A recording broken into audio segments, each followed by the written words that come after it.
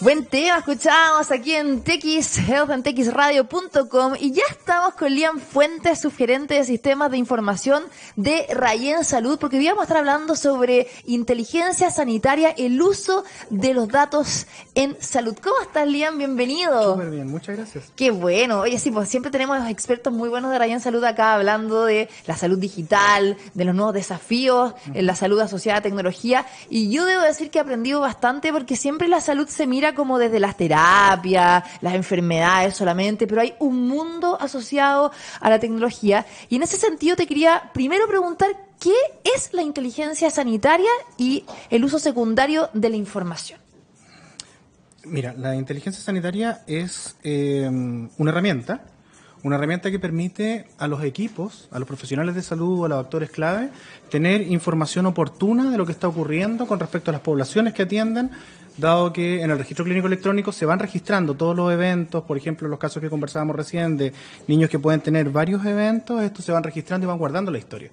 Si uno si uno permite que estas personas, que estos actores claves tengan un acceso oportuno a la información, su capacidad de tomar decisiones, la evidencia con la cual cuentan para poder hacer una mejor, una mejor gestión en los centros de salud, es lo que la inteligencia sanitaria les provee a ellos como una herramienta para sus para las decisiones que puedan tomar dentro de la gestión de salud que hacen. Ya, y ejemplos así concretos que podamos dar para que las personas nos entiendan. Eh, ¿En qué lo vemos como usuario? ¿Nosotros podemos como eh, visibilizarlo, por así decirlo, o más bien eh, son eh, sistemas que usan ya las redes de salud, hospitales, clínicas? ¿Nosotros como pacientes podemos darnos cuenta de esa inteligencia sanitaria? El beneficio principal siempre está dado hacia el paciente que va a ser atendido, el usuario de la red asistencial.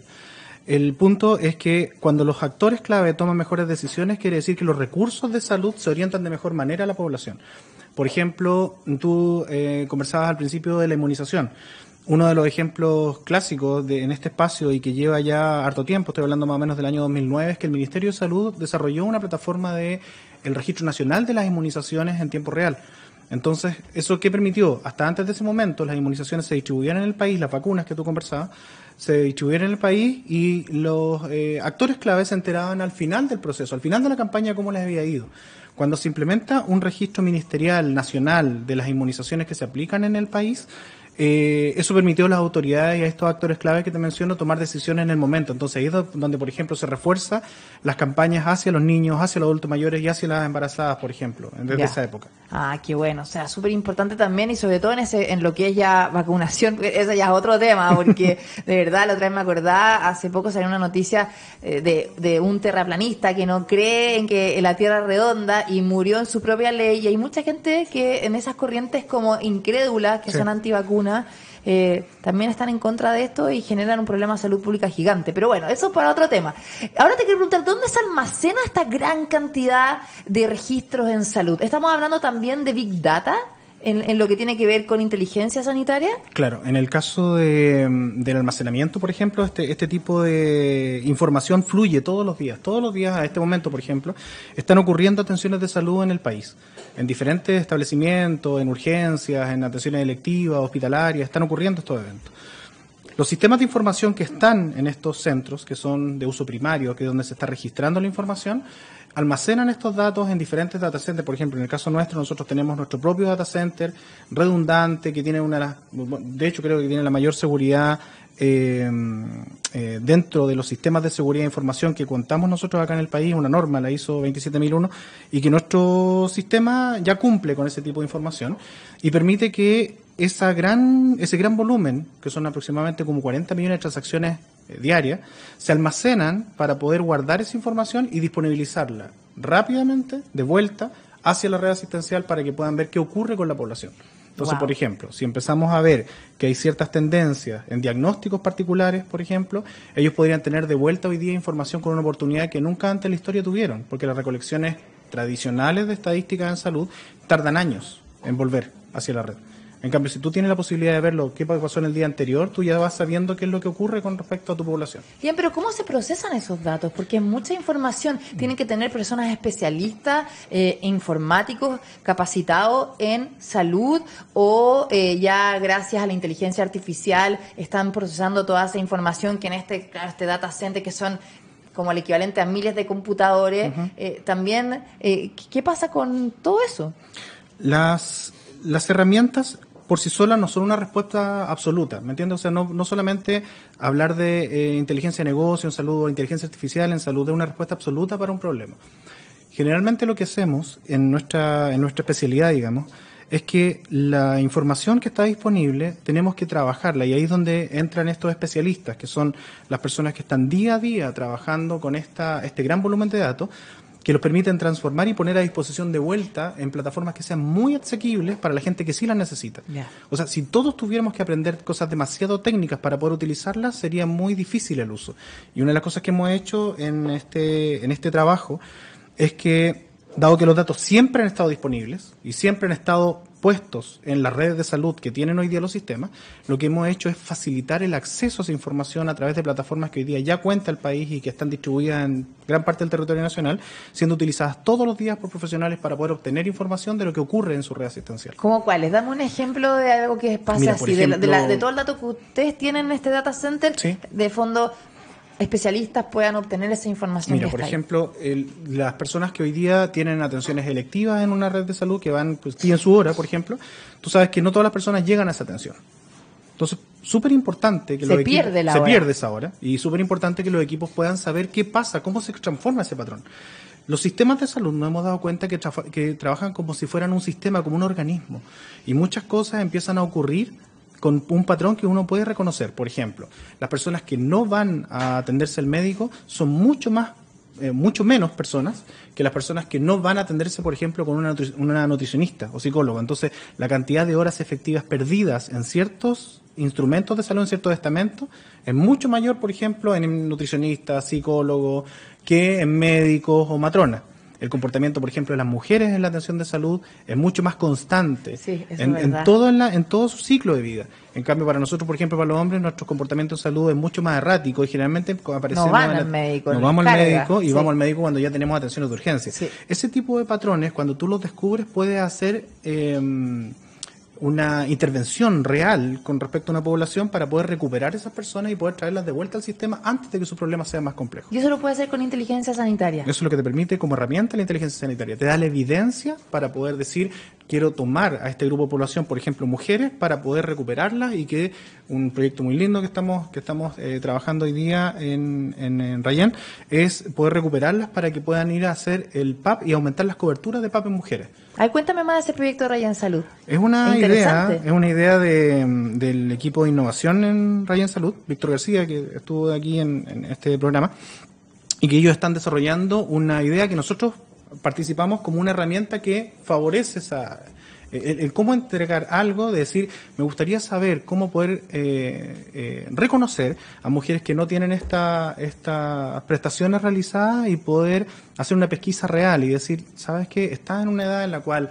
hacerte un PAP preventivo hoy día podría permitir que tú no tengas problemas a futuro y que la red se pueda disponibilizar para poder recuperar a esas mujeres y traerlas de vuelta al sistema, antes de que tengan un problema real. Oye, y yo me imagino, ¿en qué minuto podrás hacer de que te llegue un mensaje, por ejemplo, a tu correo o, a tu WhatsApp o tu mensaje de texto que diga, Andrea, ¿sabes qué? Eh, te toca hacer este examen. Este proyecto. Ah, porque eso es súper importante, a nosotros se nos olvida, a veces pasa un año que uno no se hace una mamografía o no se hace un PAP y obviamente sobre los 35 años hay que hacerse estos chequeos preventivos porque, por ejemplo, los índices de cáncer cervicouterino o mamario son súper altos en la población en Chile, en las mujeres. Entonces, ¿cómo la inteligencia finalmente y la tecnología te pueden advertir o recordar eh, como lo hace una aplicación de que tienes que tomarte tu anticonceptivo, por ejemplo, pero que lo hagan en lo que tiene que ver con prevención de salud. O sea, las herramientas tecnológicas, digamos, están disponibles hoy día para llegar a ese tipo de soluciones.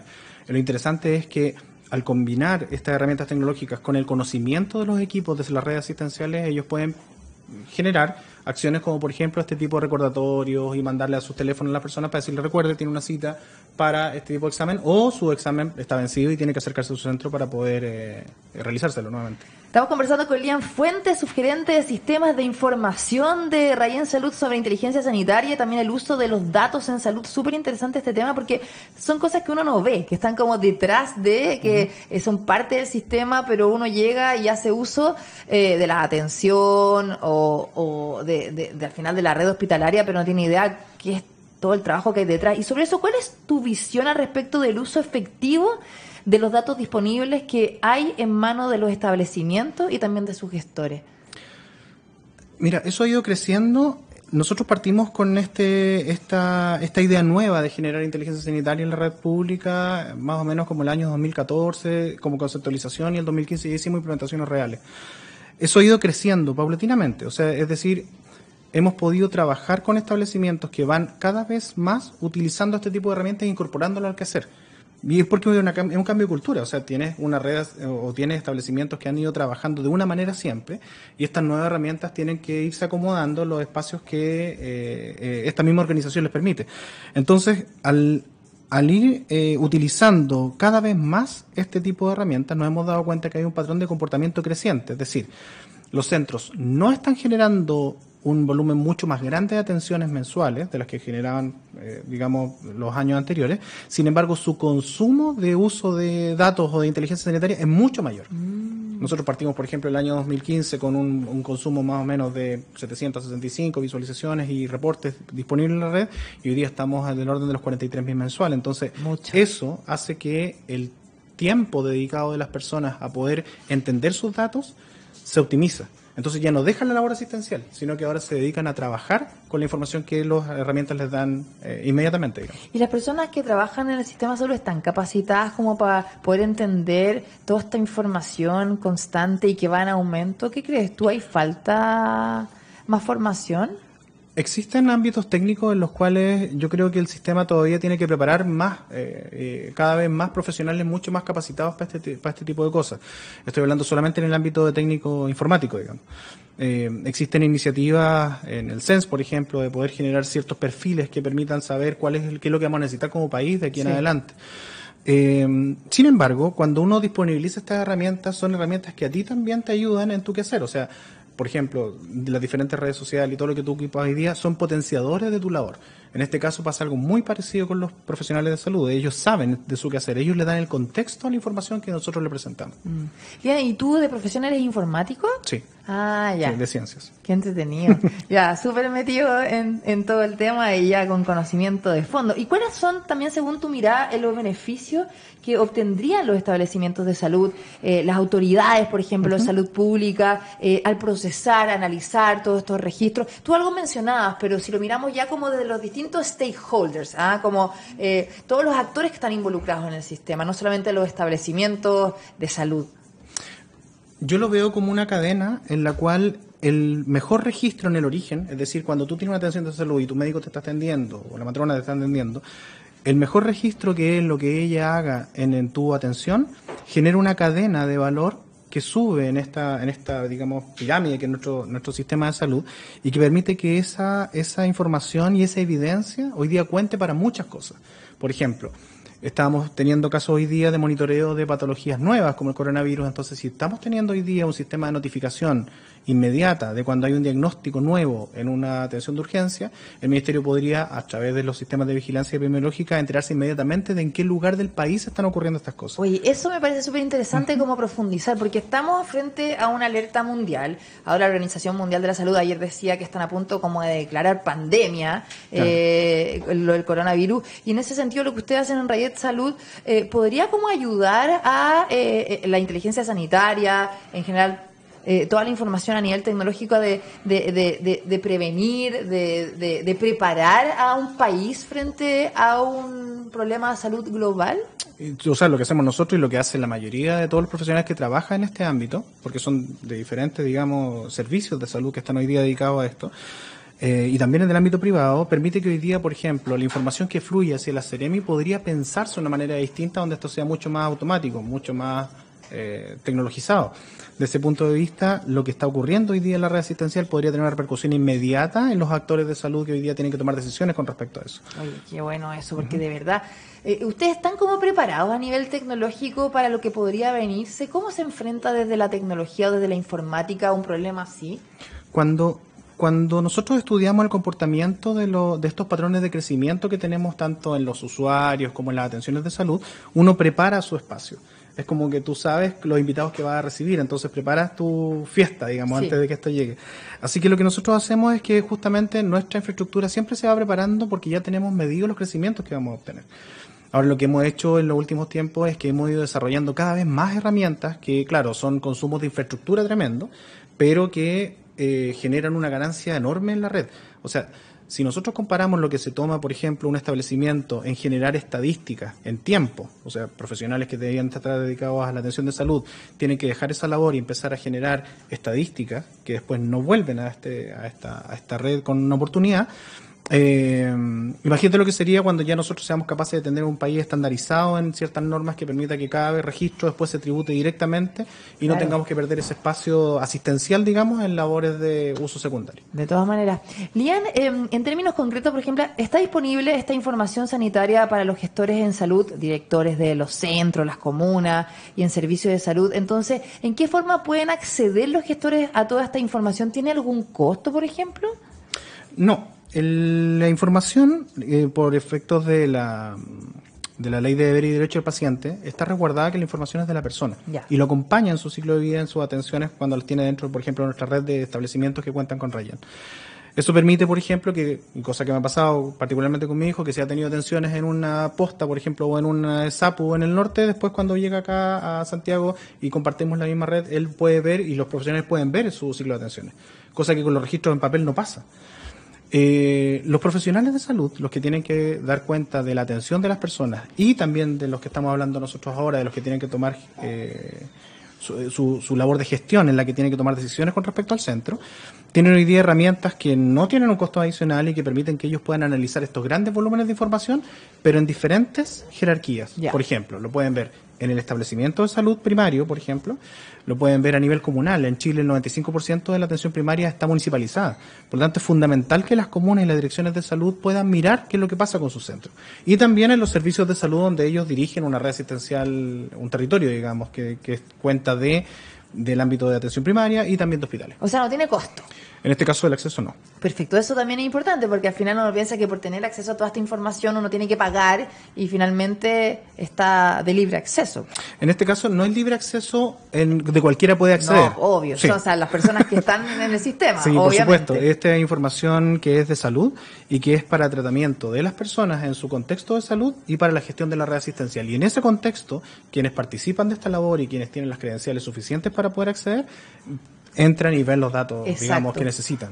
Bien, ahora eh, también de las cosas que ustedes hacen en Rayet Salud, eh, ¿hay algunos otros desafíos tecnológicos que nos puedas comentar en salud pública, principalmente más allá del procesamiento y el análisis de datos? bueno, me contabas ahora uno de los proyectos que estaban haciendo con el PAP, pero ya como impacto en la salud pública. Estábamos hablando también de coronavirus, pero ¿hay algunos otros que te gustaría destacar? Creo que una de las, una de las, una de las cosas que, que como país tenemos que avanzar porque tenemos una, una, posición privilegiada en la región con respecto a este nivel de informatización en la red pública, cosa que no es muy conocido en, en, otros espacios. Nosotros hemos, por ejemplo, exportado estos servicios en otros países de la región, en Colombia. están en toda Latinoamérica casi. O sea, hemos trabajado en algunos otros países y en Colombia, por ejemplo, han utilizado esta misma tecnología, pero con información de ellos. Ya. Ahí nosotros no, no, tenemos registro clínico electrónico, pero ellos utilizan este tipo de tecnología.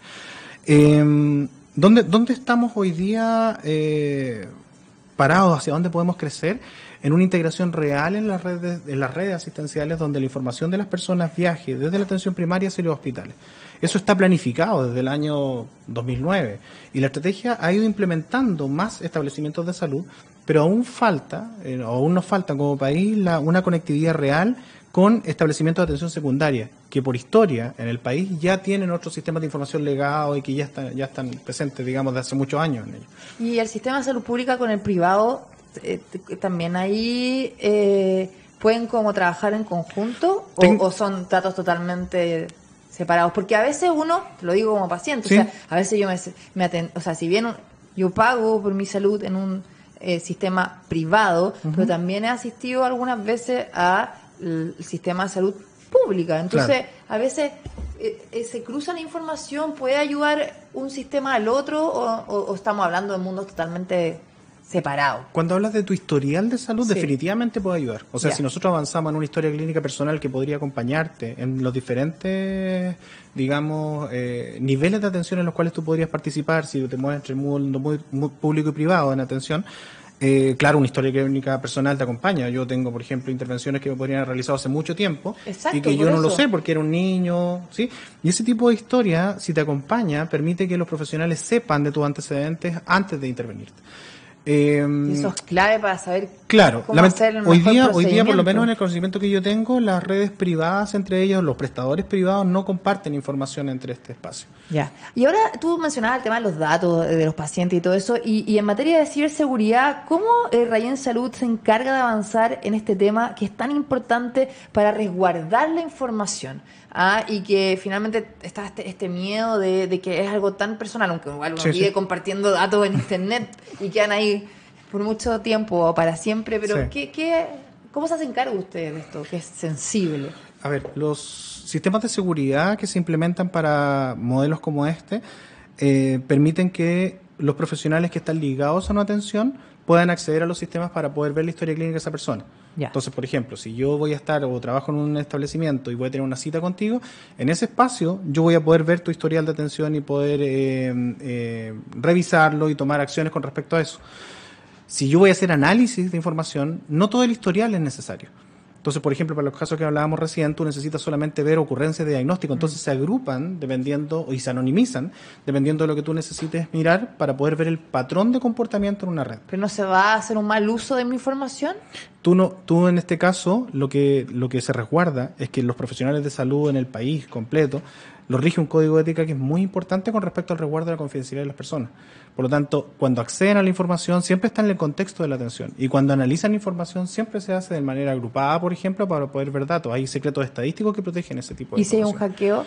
Si hubiese un hackeo, en este caso, cosa que nosotros en todo esto, ya más de 15 años de historia, siempre estamos protegiendo y que nunca ha ocurrido, eh, los sistemas hoy día están, eh, digamos, con capas de protección que permite que solamente los sistemas desde ciertos lugares, para nosotros son IPs, pueden acceder a esta información. Entonces uno restringe bastante cómo uno accede a la data y las credenciales se entregan solamente a profesionales en los cuales el, el- el sistema de salud los tiene en el, en el contexto de una atención de salud. Eso es súper importante porque uno siempre tiene como miedo de qué va a pasar con nuestros datos y uno Sí. se pasa la película que los van a usar, después no sé si tengo una enfermedad, esto se va a compartir, después no voy a poder no sé, contratar un seguro, por ejemplo, Claro. etcétera, etcétera. O sea, porque al final los datos son súper eh, sensibles, o sea, a veces te llaman por teléfono, no sabes dónde se consiguieron tu teléfono, tu Sí. root, etcétera. Entonces, sobre todo en el tema salud y cuando uno tiene hijos, uno se pone como mucho más quisquilloso, ¿no? Sí.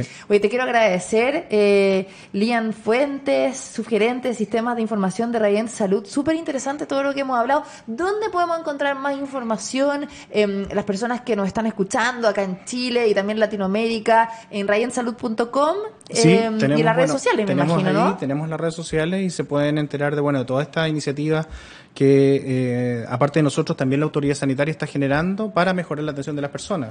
Eh, hay un escenario muy nuevo que está generando el Ministerio en relación a la a multimorbilidad de las personas y dedicar mayor eh, recursos de atención a personas con mayor carga de morbilidad. Y todas esas cosas están ocurriendo en paralelo gracias a que esta información hoy día está disponible para estos actores clave que conversábamos al principio. Genial, así que yo de verdad he aprendido demasiado con ustedes porque se abre un mundo, eh, como lo decía en un inicio del tema salud, uno como que tiene una visión y finalmente detrás de eso, de todo lo que funciona en el sistema, es muy interesante y cómo la tecnología está ayudando a cumplir todos estos desafíos que tenemos como país también. Así que muchas gracias, Lian. Te agradezco. Nos vamos con la música. ¿Te gusta la música? Me imagino. vamos a ir con King, Everybody's Changing. Suena aquí en TX Health en TXRadio.com.